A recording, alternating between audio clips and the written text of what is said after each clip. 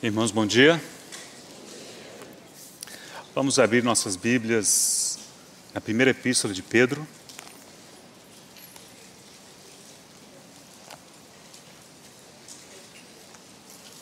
Primeira epístola de Pedro, no capítulo 4.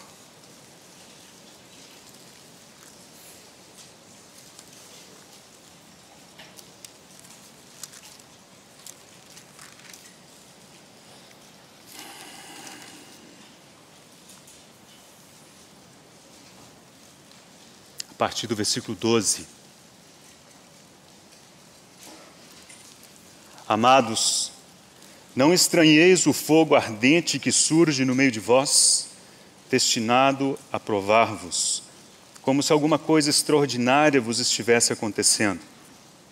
Pelo contrário, alegrai-vos na medida em que sois coparticipantes dos sofrimentos de Cristo, para que também na revelação da sua glória vos alegreis exultando.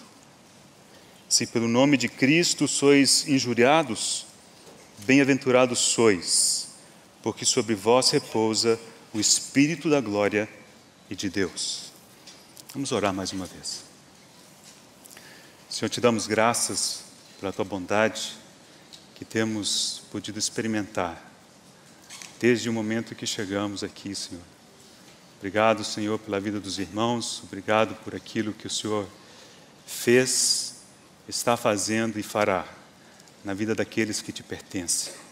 Obrigado, Senhor, pela tua palavra e nós nos encomendamos às tuas mãos, tuas boas mãos, com confiança, pedindo que o Senhor nos conduza e o Senhor mesmo fale o nosso coração. Ajuda-nos a nos aquietarmos e a teus pés ouvirmos a tua voz. Em nome de Jesus, o nosso Senhor, oramos. Amém. Quando Pedro escreveu essa epístola, ele escreveu para um conjunto de pessoas que certamente estavam sob perseguição. Ele abre a epístola dizendo aos forasteiros na dispersão no ponto, Galácia, Capadócia, Ásia, Bitínia. Ele diz: olha, aqueles que estão dispersos, sendo perseguidos nessa região, a eles, Pedro escreveu essa epístola. E esses irmãos, eles estavam sendo perseguidos. E em consequência dessa perseguição, surgia sofrimento. E esse é um dos temas principais dessa epístola: sofrimento. Não é o nosso tema. Mas, de fato, a palavra sofrimento aparece na epístola de 1 Pedro mais vezes do que em qualquer outra epístola ou escrito do Novo Testamento. Parece alguma coisa em torno de 16 vezes. A palavra sofrimento. Né? E aqui nós temos um sentimento, nesses três versículos que lemos, que de fato, aqueles leitores de Pedro estavam passando por aperto, por sofrimento. Contudo, Pedro os encoraja e diz: alegrai-vos alegrai-vos. Agora, a palavra de Deus em nenhum momento nos ensina a gostarmos do sofrimento ou nos alegrarmos no sofrimento per si. Essa não é a questão. A questão é que, dependendo do sofrimento e dependendo da nossa reação ao sofrimento, algo de eterno é construído em nós algo de eterno é formado em nós. E por isso podemos e devemos nos alegrar. E nesse texto, o versículo 14 faz menção explícita ao Espírito Santo. E eu creio que, até de acordo com o tema dessa conferência, que a gente deseja tentar ver juntos na palavra de Deus é que muitas vezes, por detrás de sofrimentos e de situações difíceis, está aquela cuidadosa mão do Espírito Santo. E é por isso que o sofrimento pode, dependendo da nossa reação, dependendo de como nós nos lançamos aos pés do Senhor, produzir para nós eterno peso de glória. Então, irmãos, a conferência, o tema central dela é o Espírito Santo na vida dos filhos de Deus. E a minha parte diz respeito a essas disposições do Espírito Santo em nossas vidas. Eu vou usar muitas vezes a palavra arranjo, os arranjos do Espírito Santo em nossa vida. Ao pensar na palavra arranjo, logo pensando arranjo de flores. Né? A gente falar de arranjo, a gente pensa logo no arranjo de flores. Tenho certeza que os irmãos já viram arranjos de flores. Agora, os arranjos de flores, eles não são feitos assim, vai no jardim, corta algumas flores, pega aquele bolo, joga em algum lugar e diz: Eis o arranjo de flor. Não é assim. Ao contrário, as flores, elas são colhidas e elas são organizadas de forma cuidadosa, selecionadas nos seus tipos, as cores.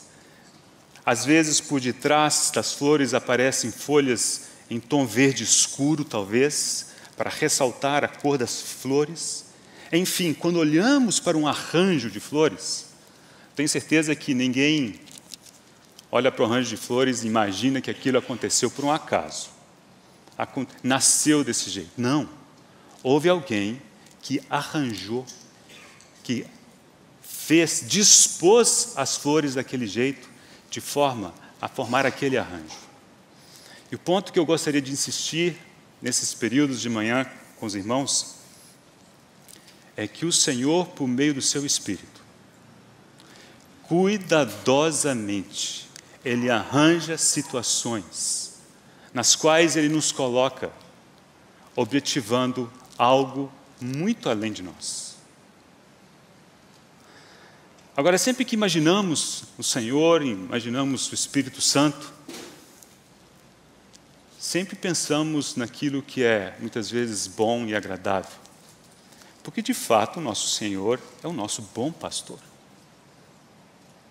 Ele só nos faz bem, sempre. Mas nós estamos preparados muitas vezes para reconhecer isso em situações de aperto, em situações de dificuldade. E aqui nós vamos pegar esse trecho em 1 Pedro, emprestado. Porque ele não foi. Ele foi escrito para aqueles que estavam sob perseguição em primeira mão, mas não apenas isso. Ele se aplica a tantas outras situações que vão além da perseguição.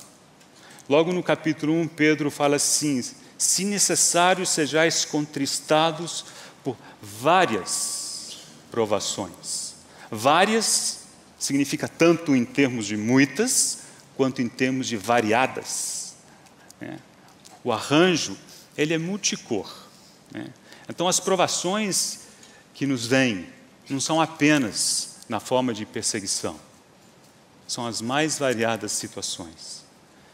Eu quero com os irmãos, pela graça de Deus, com a ajuda do Senhor, do seu Espírito, considerarmos esse ponto ao longo desses trechos, né, desses períodos é, na manhã. E o que eu gostaria de tentar passar com os irmãos são alguns aspectos dessas disposições, desses arranjos que o Espírito Santo providencia para lidar conosco. Em primeiro lugar, hoje tá, estaremos ocupados com isso a maior parte do tempo. Eu gostaria de ver com os irmãos a necessidade que temos desses arranjos do Espírito Santo. A menos que nós vejamos que nós temos uma necessidade imensa de que o Espírito Santo trate conosco, lide conosco, nós não iremos muito longe. Então precisamos ver a necessidade. Também, e se o Senhor permitir, será amanhã, precisamos entender como se manifestam esses arranjos do Espírito Santo. Porque se eu partir do pressuposto que as disposições do Espírito Santo Todas elas serão agradáveis, fáceis, simples, serão, abre aspas, uma bênção, fecha aspas. Possivelmente eu perca de vista e não consiga reconhecer boa parte das disposições e dos arranjos que o Espírito Santo preparará para a minha vida. Então, tendo visto a necessidade, tendo considerado um pouco como se manifestam, na quinta-feira, com a ajuda do Senhor, queremos considerar qual deve ser a nossa resposta a esses arranjos. Como devemos nós responder ao mover do Espírito Santo em nós e no nosso contexto. E finalmente, na sexta-feira, pela graça de Deus, queremos entender um pouquinho dos resultados dos arranjos do Espírito Santo. Então é isso que está diante de nós. Gostaria de convidar os irmãos então a passarmos esses dias em oração e consideração como precisamos de apreender essas verdades. E uma das coisas que me impressionou ao considerar esse tema a impressão que a gente tem é que, à medida que o tempo se aproxima e sabemos que a volta do Senhor está próxima, é quase como se o tempo estivesse curto demais. E aí o Espírito Santo precisa aumentar um pouco a temperatura das provas. Né? E a frase que eu vou utilizar bastante para refletir esses arranjos, essas exposições muitas vezes difíceis e penosas que se nos apresentam. Essa primeira frase que aparece no versículo 12 do capítulo 4 aqui em 1 Pedro. Fogo ardente. Irmãos, fogo ardente. Agora, se você voltar a ler esse texto com cuidado,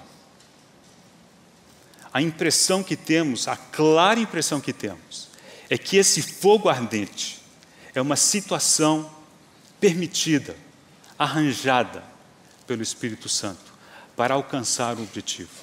O próprio versículo 12 nos diz: destinado a aprovar-vos.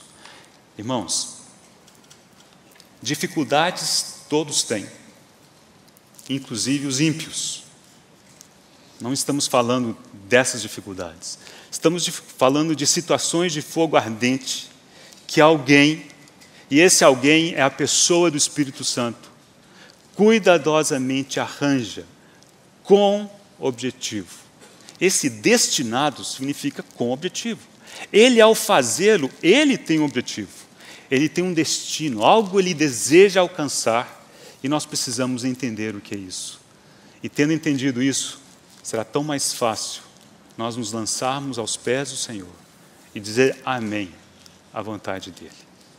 Só que o Espírito Santo, claro, ele tem seus métodos, ele tem seus meios, que muitas vezes nós desconhecemos. Então, que grande perda nossa, se nós não soubermos reconhecer a voz do nosso pastor amado na pessoa do seu Espírito Santo. Que ele aquela voz suave, aquele sussurro do qual temos ouvido falar de noite.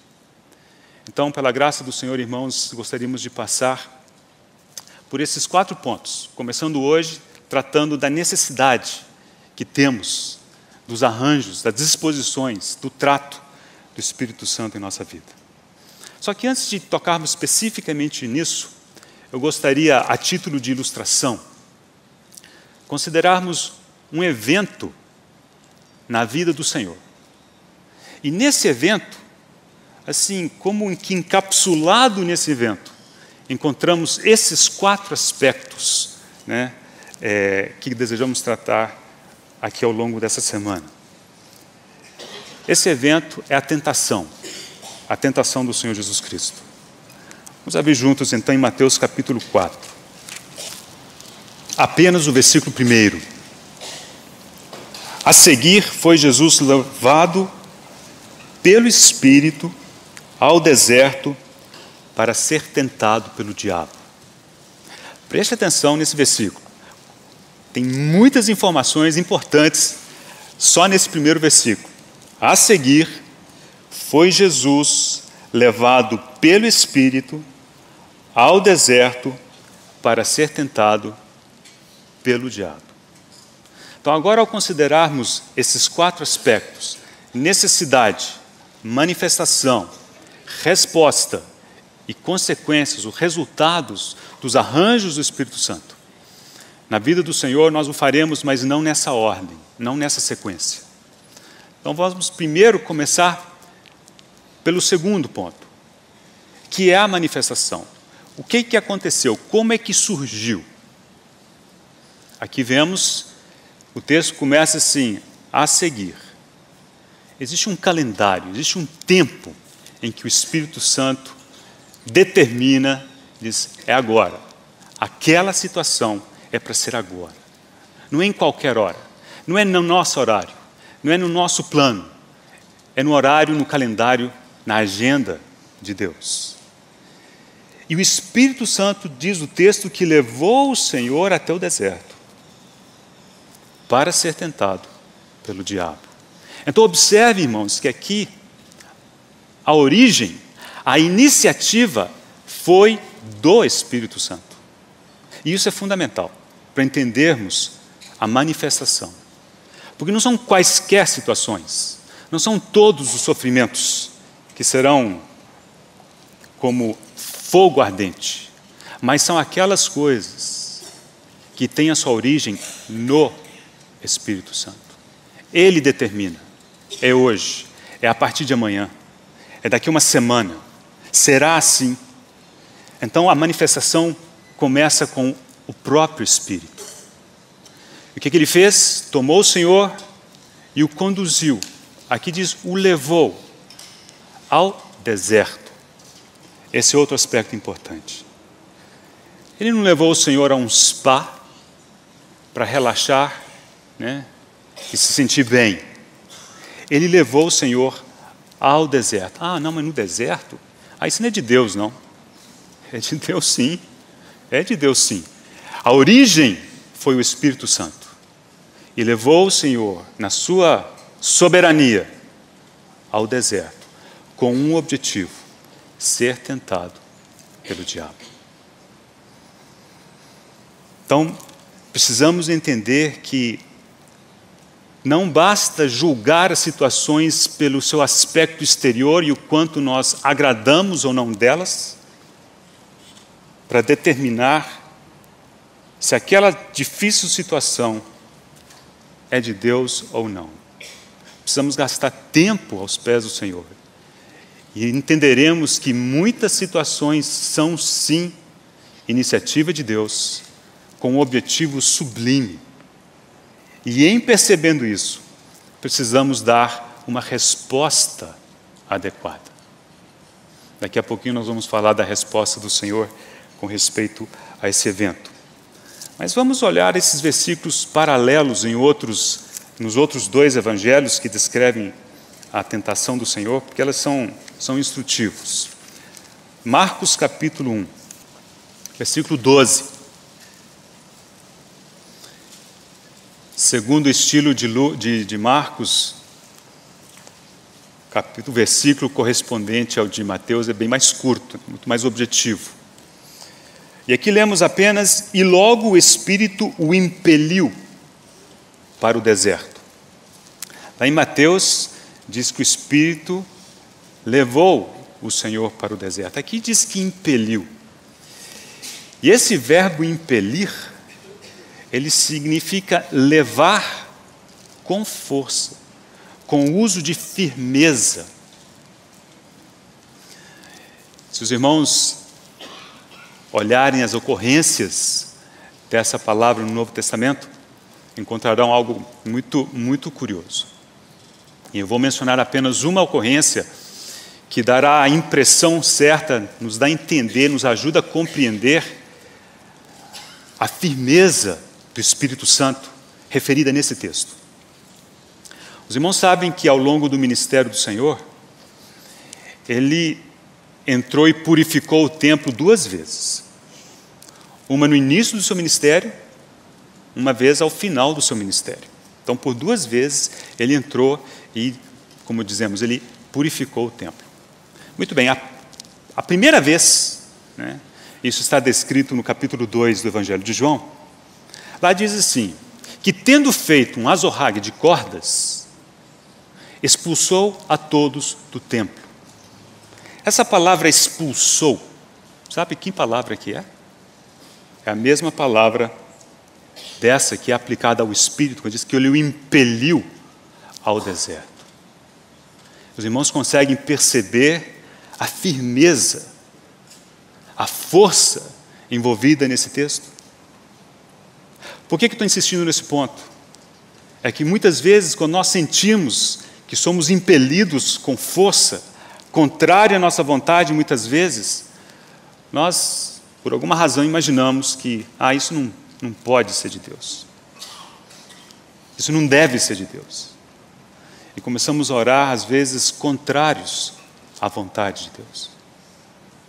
Não é de admirar que a nossa vida cristã, às vezes, avance tão pouco amadureça tão pouco. Porque o Senhor quer nos levar, às vezes com força, impelindo-nos numa direção, e nós resistimos, nós queremos ir numa outra direção. Lucas capítulo 4. Esse talvez possamos dizer que é o outro lado da moeda de Marcos capítulo 1, que Marcos capítulo 1 foca na firmeza, na determinação do Espírito Santo ao levar o Senhor para o deserto.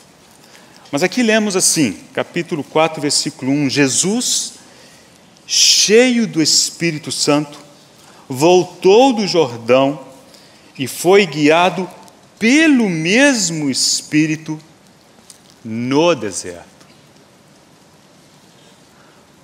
Preste atenção que aqui não diz que ele foi guiado para o deserto. Isso é verdade também.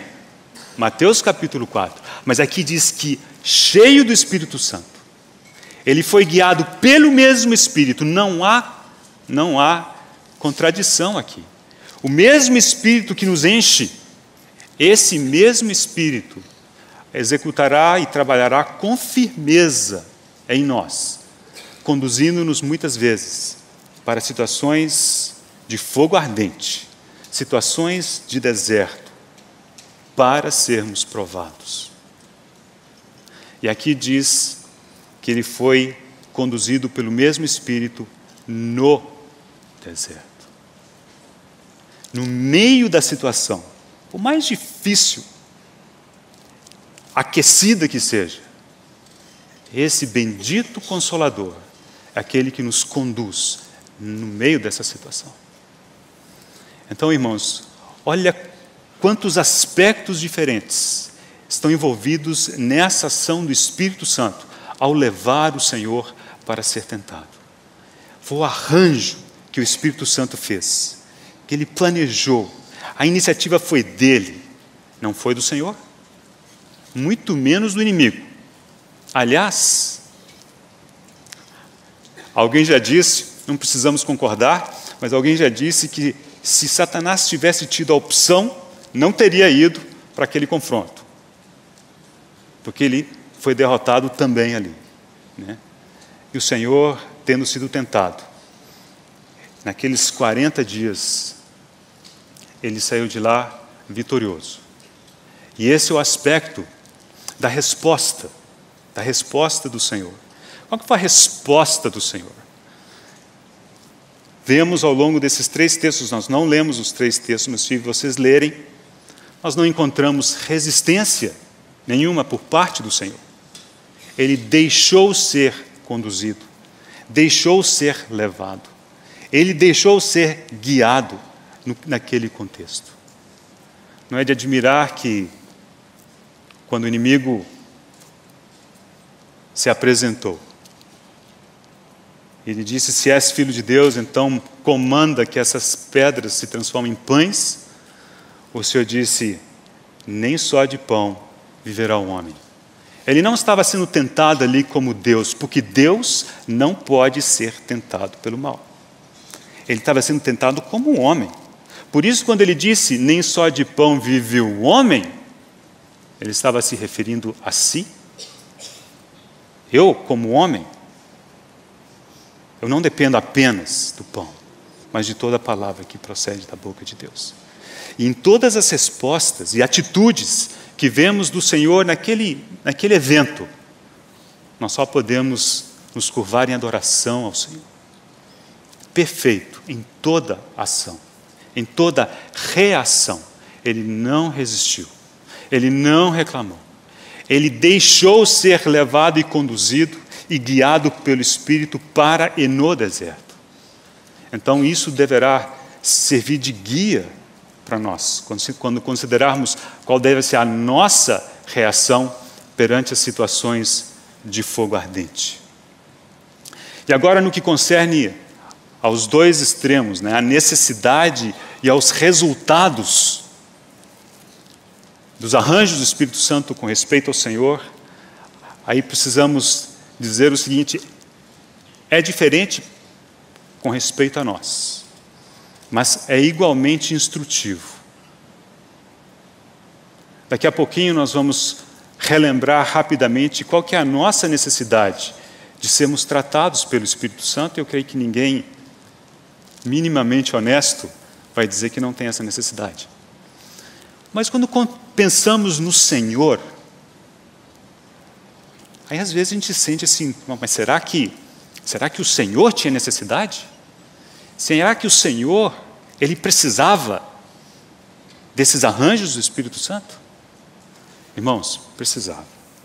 Não como Deus que ele era, porque como Deus ele é eternamente perfeito, eternamente completo. Mas como acabamos de cantar, o Senhor se esvaziou, se fez carne. Ele se tornou homem.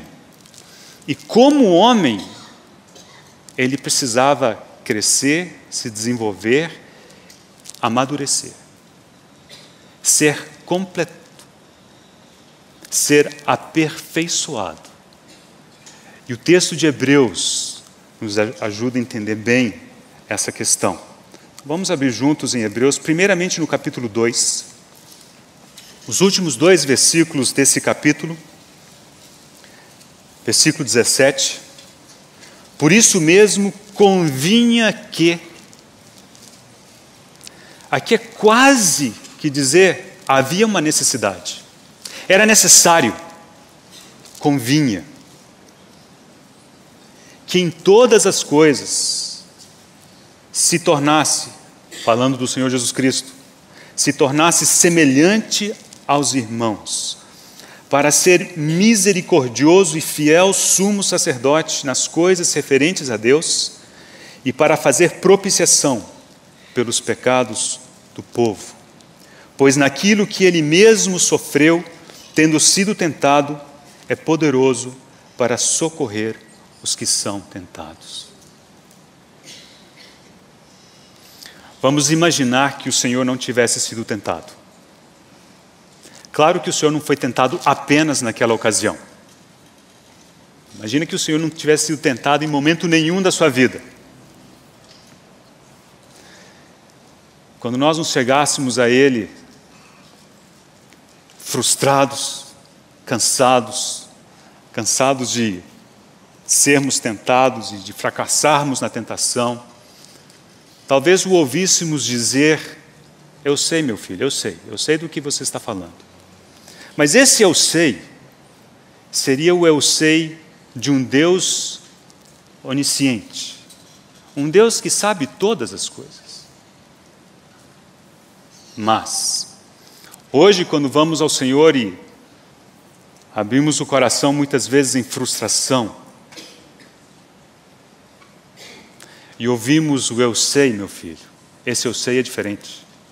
Não é um eu sei de um Deus onisciente, que Ele é, mas eu sei de um homem, que Ele é, que foi tentado, à nossa semelhança, em todas as coisas, mas sem pecado. É alguém que viveu o que a gente vive. Para nós é difícil entender isso mas isso é uma realidade absolutamente verdadeira. o Senhor experimentou todas as coisas pelas quais nós experimentamos. E se ao longo da sua vida ele não teve doença, Isaías nos diz que lá na cruz, ele levou sobre si as nossas enfermidades. Ele as experimentou. Assim como o nosso pecado caiu sobre ele, as nossas enfermidades caíram sobre ele também. Ele sabe o que é doença.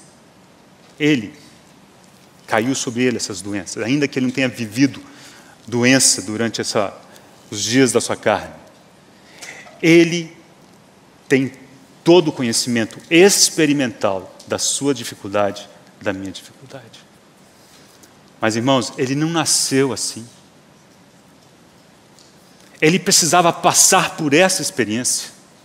É o que o texto diz: convinha que em todas as coisas se tornasse semelhante aos irmãos, para ser fiel, sumo sacerdote, nas coisas referentes a Deus, e para fazer propiciação pelos pecados do povo. E agora, tendo sido tentado, ele é capaz de socorrer aos que são tentados. Hebreus capítulo 5. Um outro texto muito parecido. Versículo 7. Ele, Jesus, nos dias da sua carne, tendo oferecido com forte clamor e lágrimas, orações e súplicas a quem o podia livrar da morte, e tendo sido ouvido por causa da sua piedade, embora sendo filho, aprendeu a obediência pelas coisas que sofreu. E tendo sido aperfeiçoado, tornou-se o autor da salvação eterna para todos os que lhe obedecem, tendo sido nomeado por Deus sumo sacerdote segundo a ordem de Melquisedeque. Muitas vezes temos essa dificuldade com essa palavra, né? tendo sido aperfeiçoado. Porque na nossa cabeça é assim, então ele era imperfeito, ele tinha falhas, não nesse aspecto. O Senhor não tinha nenhuma falha. Mas se ele não tivesse se tornado homem, e em se tornando homem, se ele não tivesse aceito passar por todas as fases e os aspectos da vida do homem, ele não seria completo. É nesse aspecto que temos a palavra aqui, ele foi aperfeiçoado, ele foi completo. E então, pôde se tornar o autor da salvação eterna. Observemos agora, para encerrar essa, essa meditação, irmãos, os resultados na vida do Senhor. Então, se vocês voltarem ao capítulo 2, vamos observar como é que o texto coloca o que, que resultou dessa atitude do Senhor. No versículo 17, lemos: se tornasse. Depois de uma linha, para ser misericordioso. Mais uma linha, para fazer propiciação pelo povo. No versículo 18 diz: é poderoso para socorrer, ou seja, agora ele é capaz de socorrer. E no capítulo 5, versículo 9 diz: e tendo sido aperfeiçoado, tornou-se. Então vemos como que na própria vida do Senhor, essas disposições, esses arranjos do Espírito Santo, que o levaram, naquela ocasião, para a tentação e certamente ao longo de toda a sua vida, porque lemos que ele crescia em estatura e graça diante de Deus e dos homens. O Espírito Santo, desde a mais tenra idade do Senhor, foi organizando, arranjando as situações, dispondo tudo e submetendo o Senhor a esse treinamento. E ao final, o que vemos é alguém completo, que pode se tornar o autor da salvação eterna, que pode fazer propiciação, que pode se compadecer de nós. No Senhor nós temos todas essas fases. E com respeito a nós, queremos ver como que elas se encaixam. E o primeiro ponto, mas talvez seja o mais fácil, mas precisamos considerá-lo, é a nossa necessidade dos arranjos do Espírito Santo. Quando Adão caiu, quando ele pecou, o Senhor disse a Adão, logo antes, falou assim: Adão, olha, de todas as árvores do jardim comerás livremente, mas da árvore do conhecimento do bem e do mal, dela não comerás. Porque no dia em que dela comeres, certamente morrerás. Adão pecou, tomando e comendo da árvore, do conhecimento do bem e do mal. E sabemos que naquele dia morreu. Mas ainda conseguimos ver Adão se mover. Né? Ainda conseguimos ver que Adão interagia com sua esposa, com Deus, com seus filhos. Então, o que morreu em Adão naquele dia foi o seu espírito. Foi aquele órgão que Deus havia colocado nele, como uma lâmpada, que lhe daria condições de perceber Deus, de ter comunhão com Deus, de discernir questões espirituais. Seu espírito morreu. Morte é você sai de uma condição para uma condição de disfunção, não tem função. Aquela função parou de existir. O espírito de Adão, ele não desapareceu. Ele simplesmente ficou inoperante. Alguém já disse que podemos imaginar com uma lâmpada que é desligada, então não tem mais a luz. A lâmpada está ali. Né? Você pode utilizá-la para escorar uma porta, por exemplo. Mas não foi para isso que ela foi feita. Né? Então, o espírito de Adão estava, mas estava morto. E como consequência disso, o seu corpo pereceria. E de fato, o seu corpo entrou num processo de degradação, o que Paulo chama de cativeiro da corrupção, do qual todos estamos presos até segunda ordem. Né? Basta olhar a, o, o, progresso, se é que assim pode dizer, né?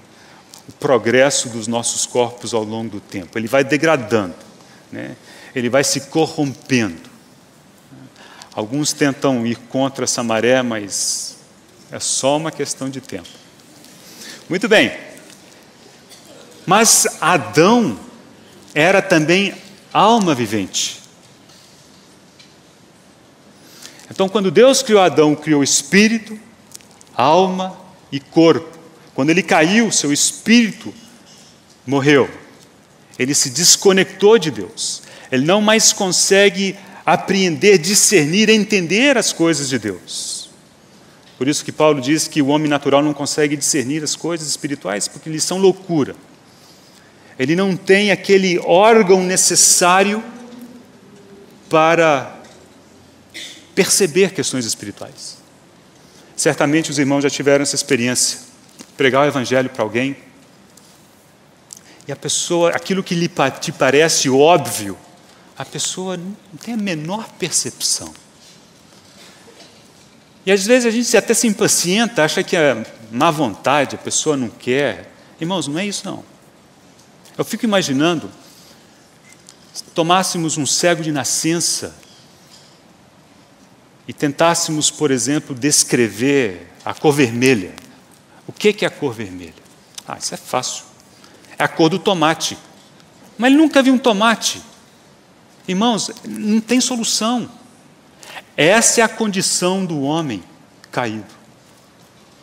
Sem o espírito, ele não tem como aprender as questões espirituais.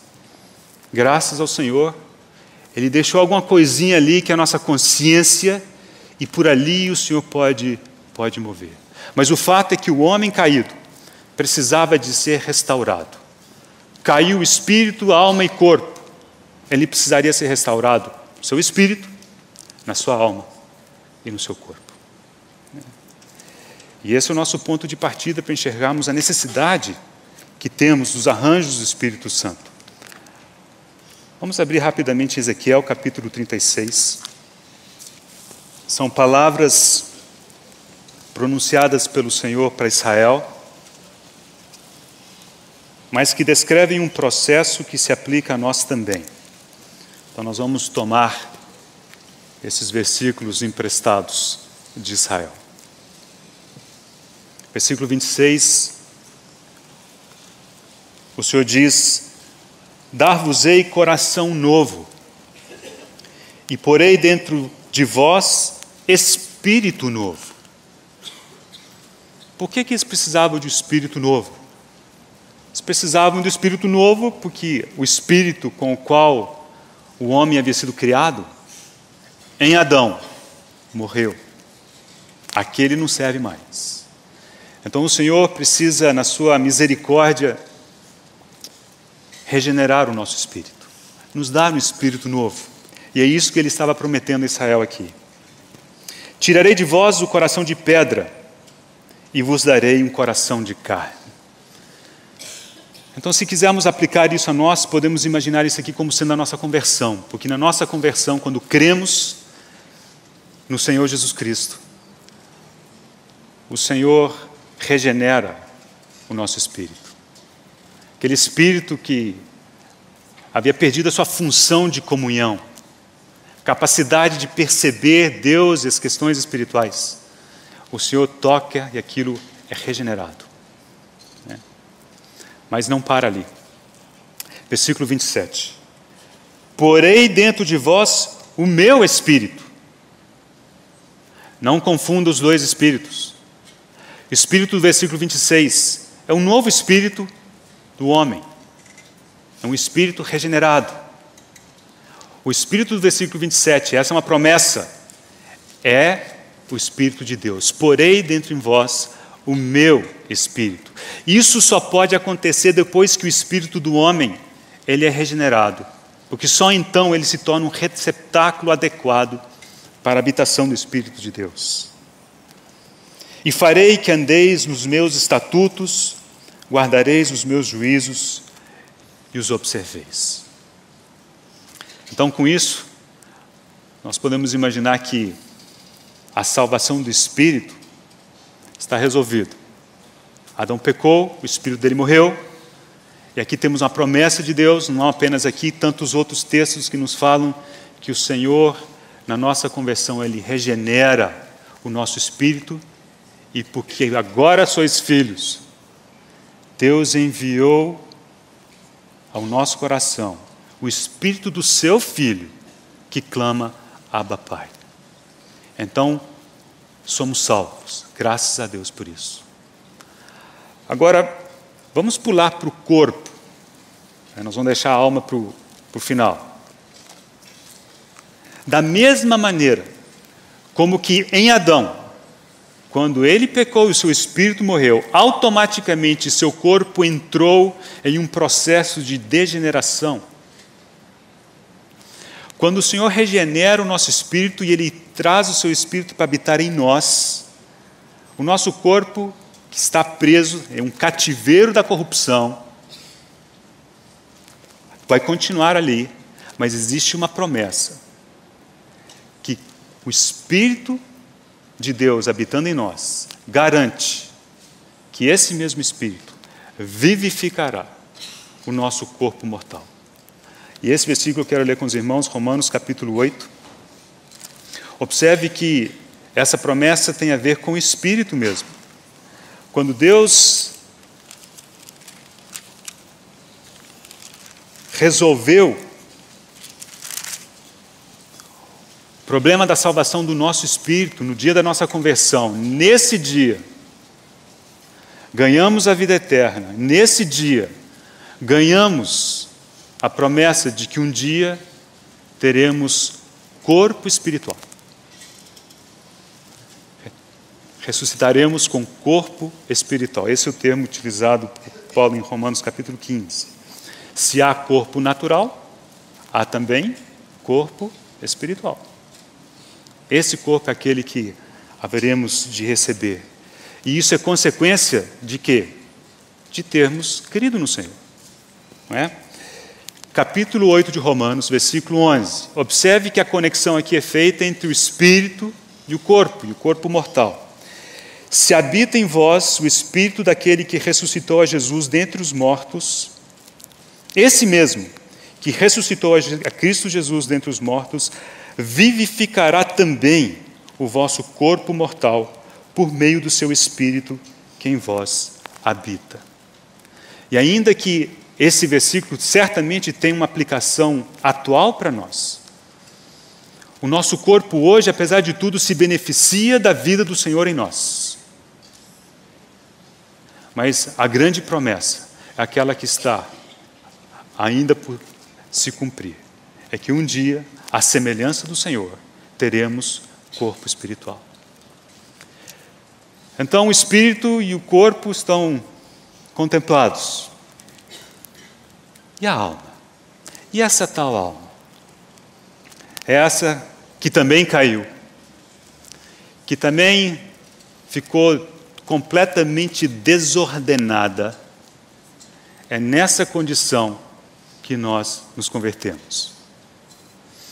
Então, certamente os irmãos já tiveram essa experiência. Um recém-convertido, não temos qualquer dúvida de que realmente creu no Senhor, porque percebemos a vida do Senhor nele. Mas ao considerar tantos outros aspectos da vida da pessoa, a vida da pessoa está uma bagunça total e completa, sobre todos os possíveis aspectos. Por quê? Porque essa alma que foi bagunçando e confundindo e crescendo fora de proporções ao longo de toda uma vida, quando a pessoa se converte, não muda assim. O espírito é regenerado assim. Há uma promessa para o corpo, mas a alma precisa passar por um longo processo de transformação. E desse longo processo de transformação nos fala a palavra de Deus, especialmente nas epístolas de Tiago, 1 Pedro também. E muitos chamam isso de a salvação da alma ou a santificação. Irmãos, se o Espírito Santo tem papel fundamental, determinante na salvação do nosso espírito, na regeneração do nosso corpo, veja bem o que diz esse texto por meio do seu Espírito que em nós habita, ele vivificará também o nosso corpo mortal. Não é difícil de entender que o Espírito Santo também tem papel fundamental na salvação da nossa alma, na nossa santificação, no nosso trato. Só que o Espírito Santo tem seus métodos, ele tem seu calendário, ele tem seu jeito o irmão nos falava há pouco, seus caminhos. Quais são os caminhos do Senhor?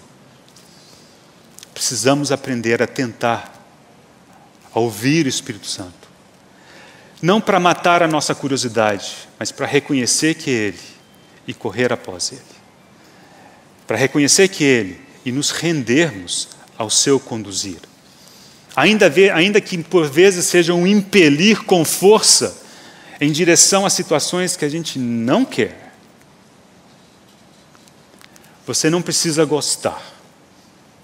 Nós só precisamos ceder e permitir que o Espírito nos conduza. Então, irmãos, grande esse desafio.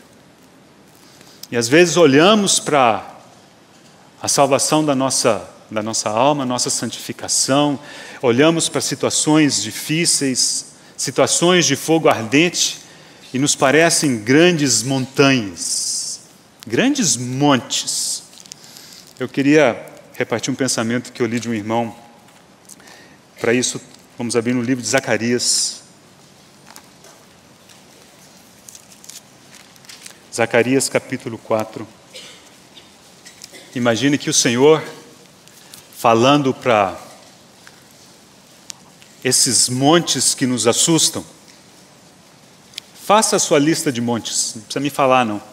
Quais são os seus montes, seus desafios, aqueles desafios que parecem completamente intransponíveis? Versículo 7. Quem és tu, ó grande monte? Diante de Zorobabel serás uma campina. Oh, como gostaríamos de que todos os nossos montes né, fossem transformados numa campina, pela qual pudéssemos trafegar sem maiores dificuldades. Mas aqui existe essa palavra. E a gente passa e imagina assim: poxa, como será isso possível? E a resposta está no versículo anterior, versículo 6. Preste atenção. Prosseguiu ele e me disse: Esta é a palavra do Senhor a Zorobabel, não por força, nem por poder, mas pelo meu espírito, diz o Senhor dos exércitos. Irmãos, esses montes, quaisquer que sejam, não serão aplainados, não serão atravessados pela força e pelo poder do homem. Não adianta, nós somos incapazes disso. Mas pelo meu espírito, diz o Senhor dos exércitos. Não por força, nem por poder, mas pelo meu espírito, diz o Senhor dos exércitos. Comentando a respeito desse texto, o irmão Austin Sparks disse que o Espírito Santo em nós é a contraparte de Deus para todo alto monte. O Espírito Santo em nós é a contraparte da parte de Deus para fazer jus frente a todo alto monte. Não é pelo seu poder, nem pela sua força, mas pelo Espírito de Deus. Não há outra maneira. E nós precisamos ver isso. Para encerrar, irmãos, ao final das, das sessões eu procurei buscar um, um exemplo, uma vida de alguém na qual a gente pudesse reconhecer de forma muito, muito clara esses quatro aspectos. O meu personagem escolhido foi José, José do Egito. Então vamos encerrar só considerando a necessidade dos arranjos de Deus na vida de José. E se o Senhor permitir, é, ao longo da semana voltaremos à vida de José para considerarmos os outros aspectos, a manifestação das disposições do Espírito Santo, a resposta, a reação de José e também os resultados. Capítulo 7 do livro de Gênesis. Vamos ler a partir do versículo 2. Esta é a história de Jacó.